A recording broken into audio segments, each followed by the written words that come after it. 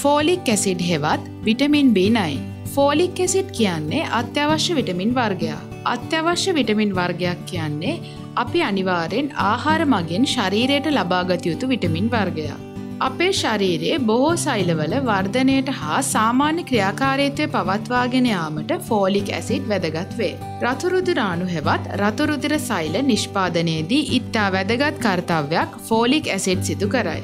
Folic acid ඌනතාවයක් ඇතිවුවහොත් නීරක්තය වැනි සංකූලතා ඇතිවිය හැකිය. ෆෝලික් ඇසිඩ් හා ගර්භනිභාවය අතර ඇති සම්බන්ධතාවය ගැන ගොඩක් දෙනෙක් අපෙන් ආපු ප්‍රශ්නයක් තමයි ෆෝලික් ඇසිඩ් බිව්වහම මද සරුභාවය නැතිවෙනවද කියලා. ඇත්තටම ෆෝලික් ඇසිඩ් කියන්නේ මද සරුභාවය සඳහා ලබා දෙන ඖෂධයක් නොවේ.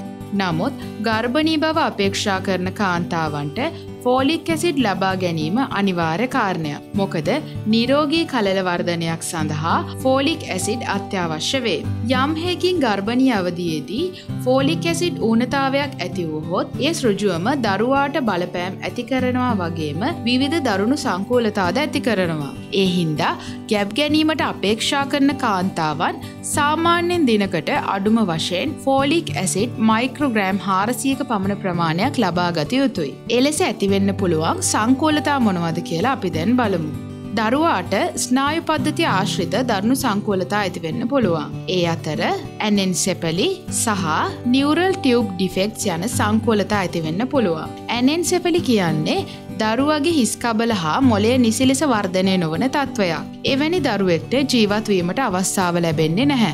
නිවරල් ටියවබ් ඩිෆෙක්ස් තත්ත්වේදී සිදුවන්නේ දරුවගේ ස්නායු පද්ධතියේ කොටසක් හිසේ පිටුපසින් හෝ කොඳුවට පෙළ ආශ්‍රිත ප්‍රදේශයෙන් පිටතට පැමිණිය හැකි තත්ත්වයක්. ඇත්තටම දරුවෙක්ට මෙවැනි තත්ත්වයක් ඇතිවී ඒවා සුව කරගන්නවට වඩා පහසුම දේ තමයි ඒක වලක්ව ගන්න එක. එවැනි තත්ත්වයක් වලක්ව ගන්න කරන්න පුළුවන් හොඳම දේ තමයි ගැබ් ගැනීමට අපේක්ෂාවෙන් සිටින සෑම කාන්තාවක්ම දිනපතා ෆෝලික් ඇසිඩ් ලබා ගැනීමට පුරුදුවීම.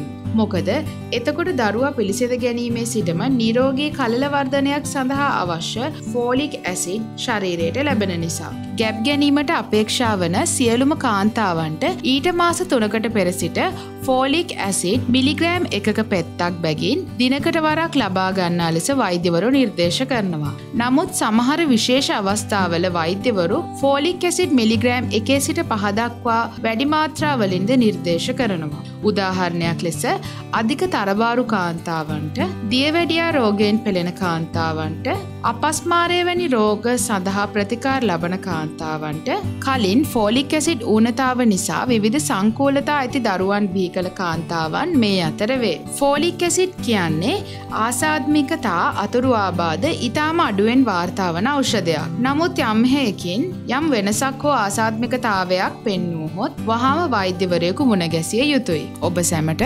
ආයුබෝවන්.